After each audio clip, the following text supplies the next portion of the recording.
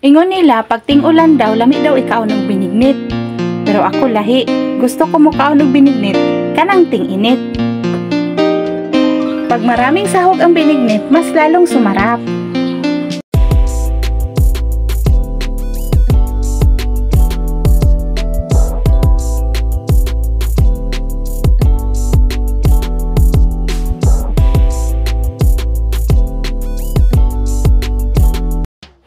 Mother ingredients na to diha, kamuting kahoy ug kamuti.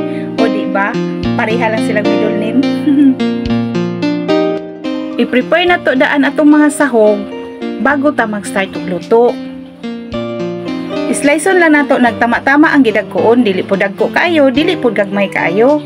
Pagka mag-slice, ihumol nato sa tubig, mao nay sikreto para dili mo lagom atong pinanita na kamuti. Sagulan po nato og malagkit nga bugas. Tapos ang malagkit ibabad nato og ininit tubig para dali lang siya malata. Sagulan po nato na og langka kay dili daw kompleto ang binignit pag walay nangka. Kinis-kinison lang po nato ng gagmay para dali lang po siya maluto. Sagulan po nato buko ato ang binignit para mosamot siya kalami. Wala pa mo katry nga gisagulan og buko, lami kaayo. Sagulan po nato glutinous flour. Ato alang ng bilog-bilugon. Dayon butangan po nato food color ang katunga. Ang katunga dili lang para lang design sa ato ang binignit.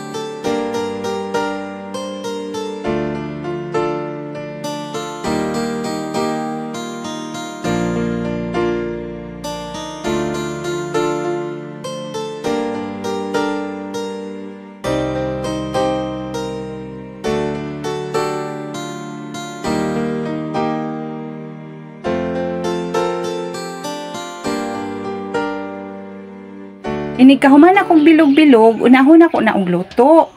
Ipalutaw na ko na sa nagbukal nga tubig.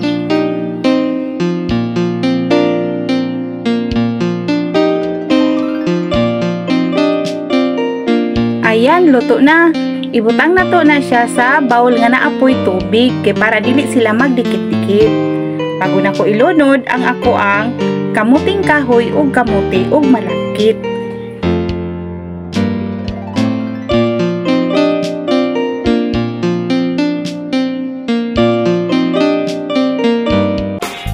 Gihalf cook lang nako ang kamuting kahoy ug kamuti bago na ko gilunod ako ang nangka. Tapos isunod na pud nako ang buko. Kay sabay lang na sila og kaluto. Pag mag-amoy na ang langka, it means luto na na siya.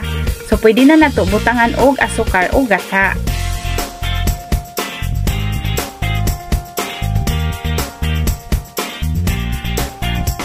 Lami jud kaayo ang binignit no pag fresh nga gata ang gamiton. Labi na ang gata kanang spiso jud pure ba.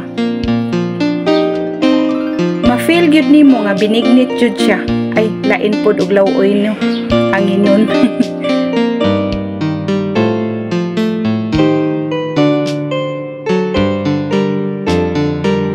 Unya kay kompleto naman na na naman ay gata og asukar ilunod na nako akong bulls bulls na malagkit bulbul na malagkit charis joke lang ha